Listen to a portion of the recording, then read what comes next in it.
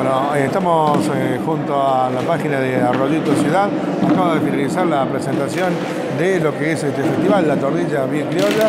Y bueno, y por supuesto contándoles eh, todo lo que se viene. Marcos López, bueno, este año ayudando y colaborando con la gente del campo. Así es. bueno, gente, muy buenas noches. Sí, es un poco darle la continuidad, como dije recién, a este festival. Yo estoy muy agradecido de que de que el club eh, haya aceptado mi humilde ayuda durante cuatro años, lo poquito que aprendí se lo estoy volcando a ellos y eso para mí es gratificante porque estoy, estoy sigo aprendiendo cosas nuevas y, y, veo que hay mucha gente que, que, por ahí te presta atención en algo que puedo decir, pucha, esto aprendí yo y me costó aprenderlo y yo se lo estoy volcando a otras personas. Eso para mí es muy gratificante. Eh, no es fácil, lleva tiempo, lleva organización, lleva un proceso de, de aprendizaje, de no cometer errores y de buscar hasta el, digamos, hasta el último detalle, cosa que, para que la gente que viene y nos visita lo vea de la mejor manera, como estamos acostumbrados a trabajar, eh, despacito y siempre cuidadoso en los detalles, cubriendo todas las áreas, que no, no quede ningún hueco y que, bueno, que la gente que nos visita durante cuatro años que nos visitó eh, siga viniendo y sigue siendo el festival sigue siendo igual con la misma calidad de, que estamos que queremos ofertar ¿verdad? en sí la esencia del festival es la misma, ¿no?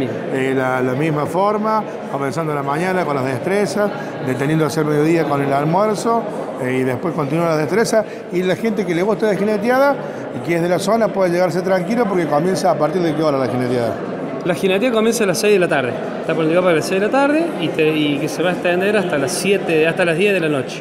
Eh, es, mira, es muy, es eh, el mismo modelo durante cuatro años va a ser exactamente lo mismo. No podemos eh, dejar de mencionar a la destreza porque consideramos que es parte del rubro, es parte de un festival, tanto como la destreza, como la danza, como el folclore y la jineteada que hoy día es lo que más convoca, ¿verdad? Entonces eso lo tenemos muy claro, que la, que la jineteada es la convocante pero la destreza es una parte esencial y, muy importante eh, en el festival como es la danza, que como también es el folclore, ¿verdad? Bien, y la parte de la jineteada se quiere jerarquizándolo un poco con los mejores jinetes de la zona, ¿no? Eh, como el Pache Maini, el chico Leguizamón de la Villa, eh, y, bueno, y los chicos Crespín, la gente que, que está en el rodeo y que siempre los acompaña, ¿no? Sí, gracias a Dios. Eh, este año Carlos Matías hizo una muy buena selección de, jinetes eh, que, los tropilleros traen para el broche. Que sí es cierto, nos costó un par de, dos años, tres años para convencer a esos jinetes que vengan y que apuesten a la tordilla, que apuesten a que la jineteada que se hace es buena y que, que, trae, y que convoca. Y que año a año va a seguir creciendo. Esa, esa meta y ese objetivo se ha cumplido en, yo creo que en muy corto plazo. Eh, bastó el cuarto año para que ya vinieran personalidades que ya han pasado por Jesús María, que van a las varillas que van a la, Diamante, este año están de vuelta y están con los caballos. Sí, eso es buenísimo. Eso, eso da una perspectiva de que año tras año, a, pas, a pasitos, no a pasos gigantes, va creciendo.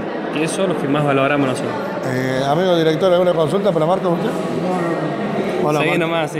Muy bien. Marquito, bueno, no, bueno eso un poco... gracias. Gracias por confiar en Arroyito Ciudad, por confiar en FM Top. Bueno, y nos encontraremos aquí ese fin de semana con ustedes. Sí, señor. Quiero agradecerle también a ustedes, los medios, que como siempre les he agradecido desde el minuto cero, que son tan importantes que yo creo que el sonido y la publicidad te garantiza eh, el éxito y la convocatoria de un festival, más allá de la organización, porque sin ustedes y sin un buen sonido no se puede gestionar ni hacer nada. Gracias, un abrazo. Gracias.